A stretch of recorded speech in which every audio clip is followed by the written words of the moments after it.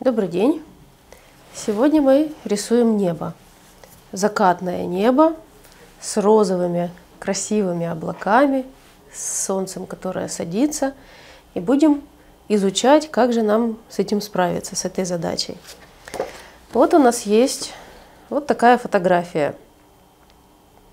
Как всегда я скажу, любой пейзаж или натюрморт, или портрет лучше рисовать с натуры да, иметь контакт непосредственно с живым объектом, который мы изображаем.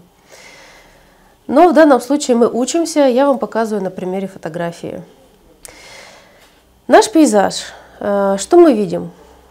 Красивое, розовое, садящееся солнце, э, которое освещает облака. Как мы это будем писать? Писать будем, э, соединяя два подхода акварельных по сырому, вот в верхней части, где мы видим, где облака как бы рассеиваются, да, так мягко-мягко расходятся. Тут будем писать по сырому. А тут, где у нас большие контрасты и много маленьких ритмов, тут будем писать по сухому. Ну и, конечно же, темные деревья в контражуре, то есть против солнца, тоже нужно будет писать э, по сухому. Хотя, возможно, не везде мы, мы сделаем фокус вот в этой части, тут более по-сухому напишем, а здесь чуть-чуть по-сырому. Ну, то есть скомбинируем так, чтобы наш рисунок был более живой, чем фотография.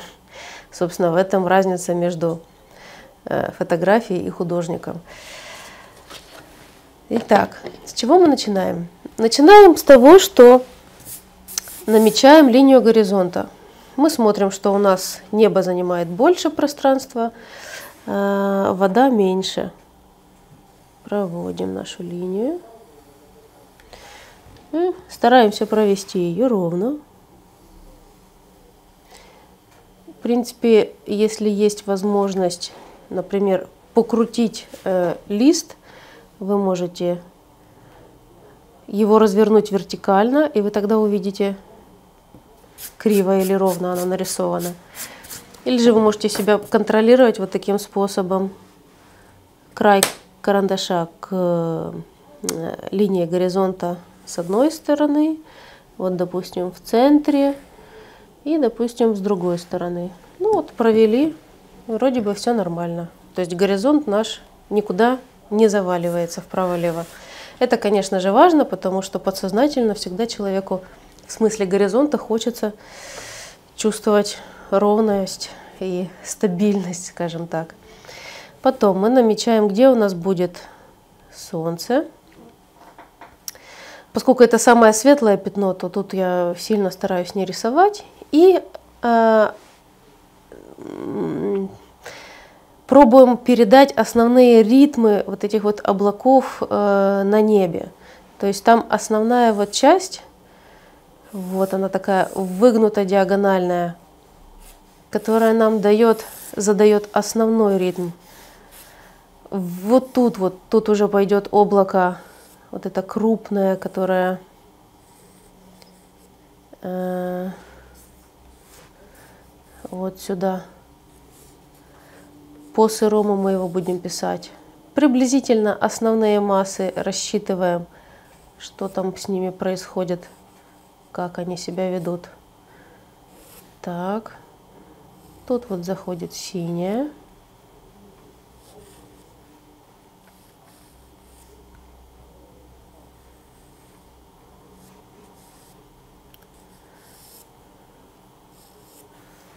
Вот так вот. Потом тут начинается яркое такое небольшое облако. Тут масса облаков спускается.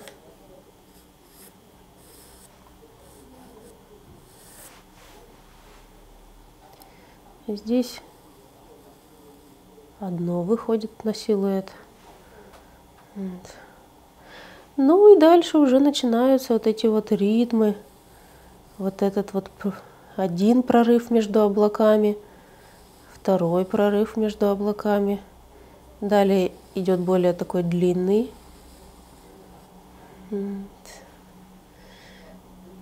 Следующий длинный.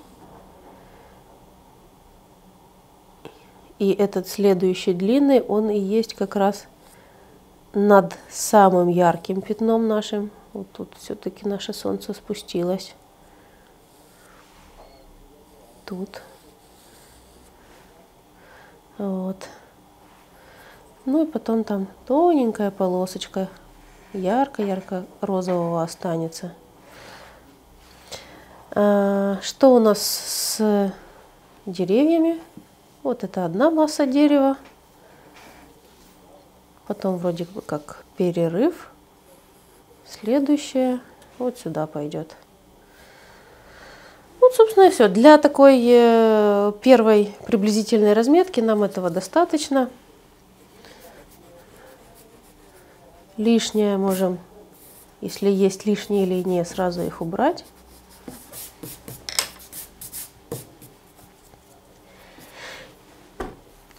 Ой, извините.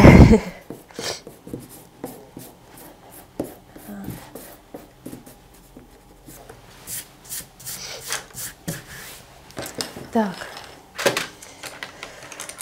Кисти. А, кисти мы возьмем, мы сделаем так. Верхняя часть, которая пишется по сырому, мы ее увлажним, возьмем большую кисть. Чем длиннее э, ворсинки у кисти, тем больше она может в себе держать воды. И, соответственно, тем нам легче писать по сырому. То есть не нужно каждых пять минут э, залазить в баночку с водой.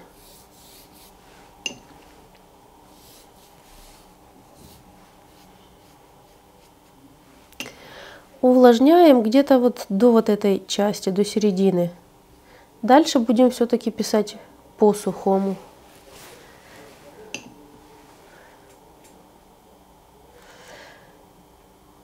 Или же можно сделать... Нет, все-таки будем по сухому.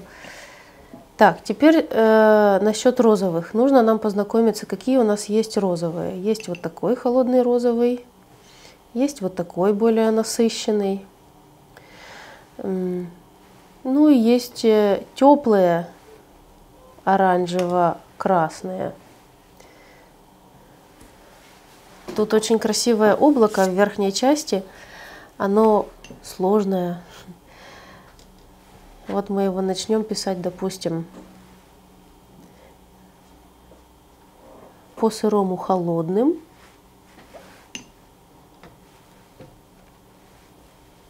Немножечко даже вот так вот. А потом, когда оно будет опускаться вниз, разворачиваться к солнцу, то оно будет теплеть.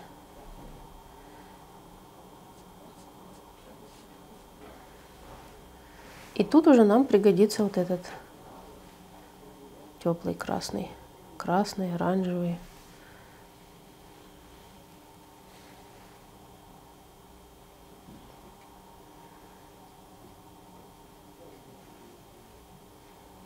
Вот мы пишем по сырому, они сами между собой цвета эти перемешиваются.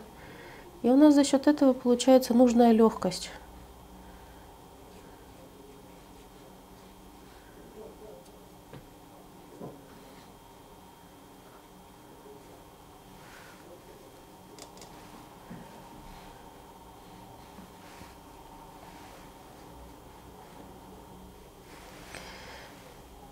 Все время старайтесь, чем дальше, чем дальше и выше э, от Солнца, тем холоднее.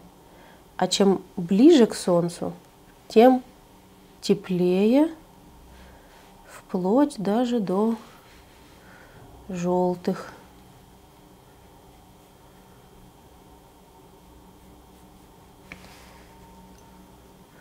Вот, например, в этом облаке снизу уже начинаются желтые.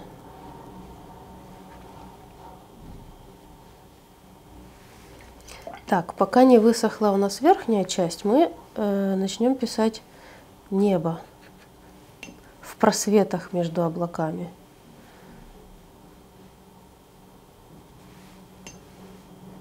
Тут по сырому. Мягко-мягко. Они между собой будут смешиваться.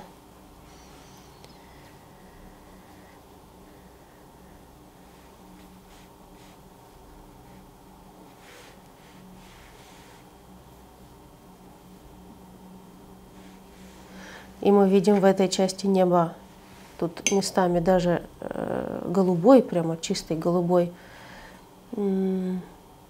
проявляется.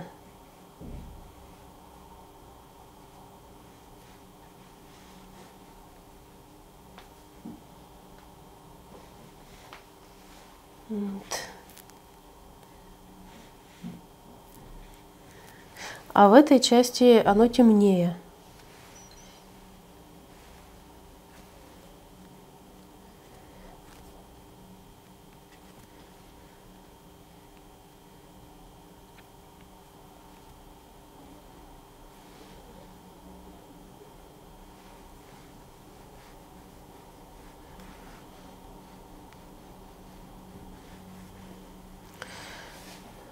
Так.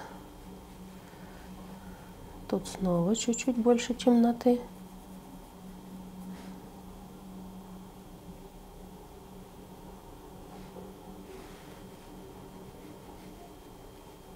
Здесь стараемся э, или ждать, чтобы высохло, или не касаться. Потому что если тут нам выгодно, чтобы по, мяг, э, по сырому мягко расходились облака, то вот тут к низу нам этого уже не нужно. Поэтому мы стараемся аккуратно заходить.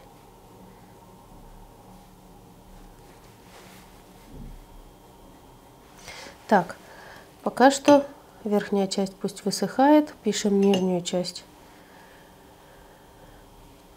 Начнем с светлого желтого, самого яркого того места, где у нас находится наше Солнце. И проходимся везде по нижней части облаков –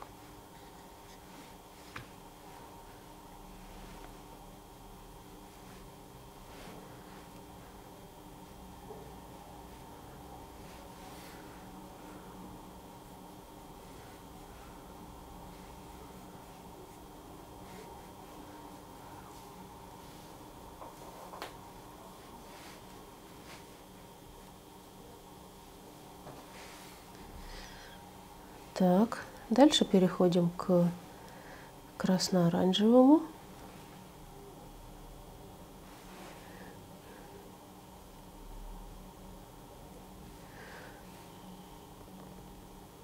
Вот тут сверху пускай сливается.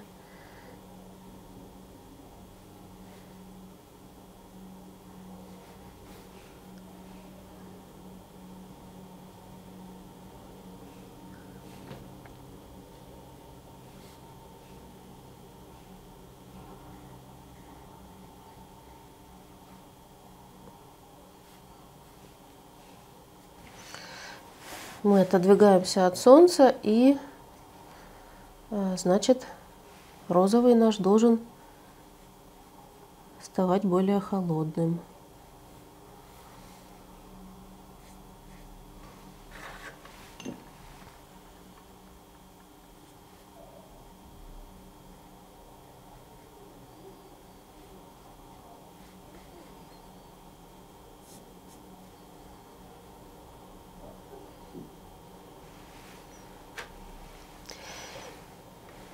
И в эту сторону также.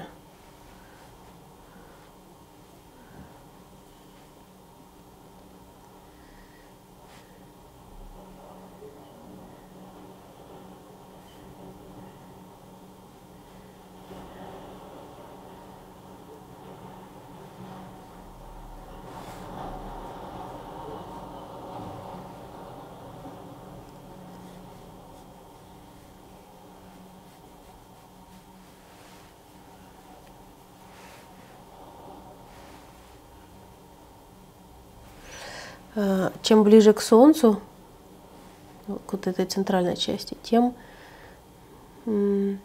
надо делать как бы светлее, мягче, чтобы передать эффект э, свечения.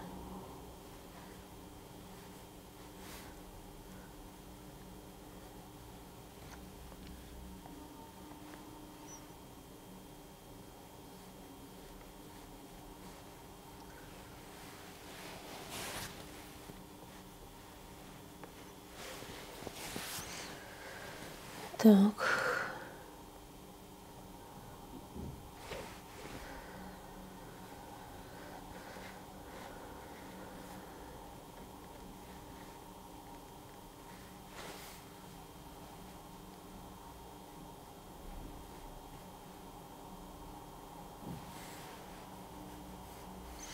Пускай эта часть подсыхает, мы к ней еще вернемся. Э, напишем ту, где небо соприкасается с э, горизонтом.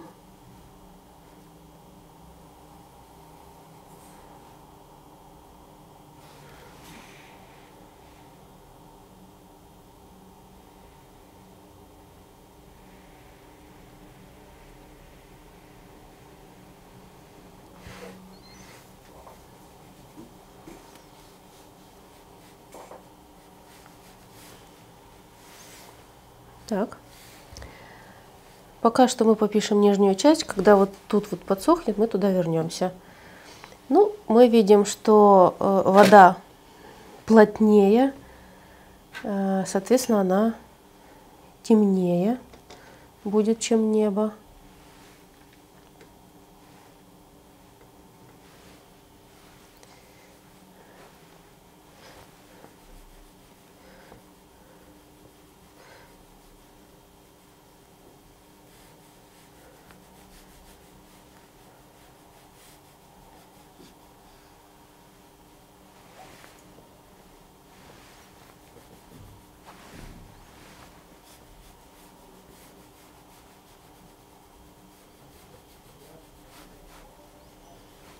Чем ниже э, к нам, чем дальше от Солнца, что вниз, что вправо, что влево, тем более будет вода темнеть.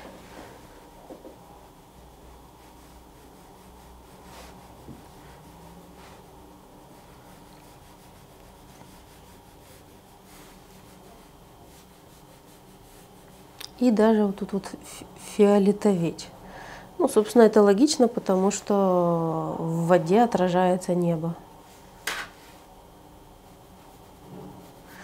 Вот. Сразу можем написать силуэты деревьев. Цвет мы будем брать не черный для этих силуэтов.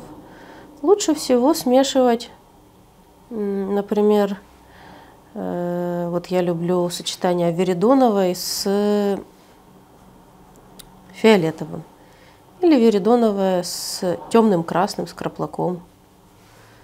Э, получается очень такой сложный и в то же время очень темный цвет.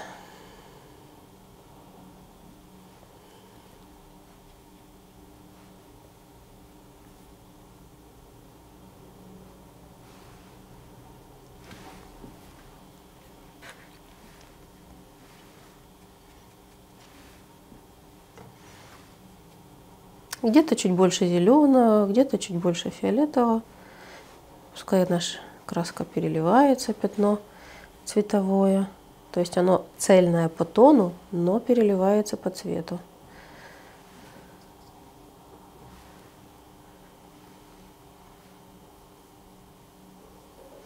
Полусырая бумага нам дает возможность, э, дает возможность делать красивые вот такие вот разводы.